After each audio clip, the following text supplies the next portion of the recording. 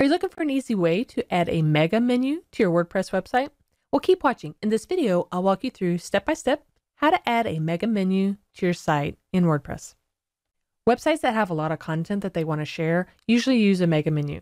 This is Starbucks, and you see they have a mega menu, which is an easy way to pull in all this useful information and makes it easy for the user to find.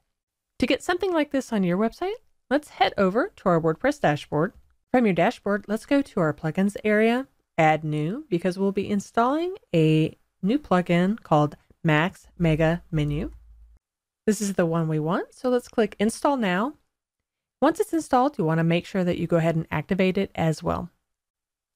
Once it's activated, you'll see it here. You also see a new menu item over here. So we'll click on that. When we click on that, it'll take us to our general settings where we can set it up. The general settings will work for most people. So you can click Save Changes here. The one thing that we'll want to do though is go to Menu Themes and we'll want to click on the menu bar and we will want to change the color scheme here to match our theme's color scheme.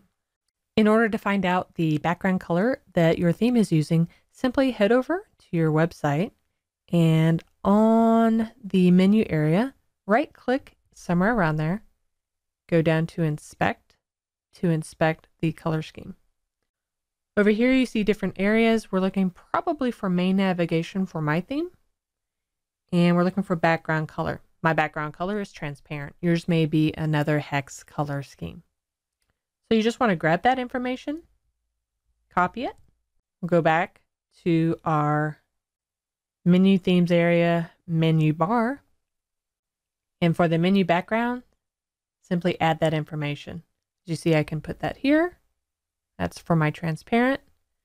And you can put in the color that yours is. Once we've done that, let's scroll all the way down and make sure we save our changes.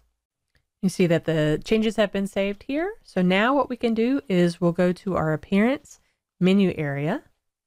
And if this isn't expanded, you'll want to go ahead and expand that area because we want to click enable for our mega menu. And then we want to come over here and hover over this until we see the mega menu button. Let's click on that and it opens up this area.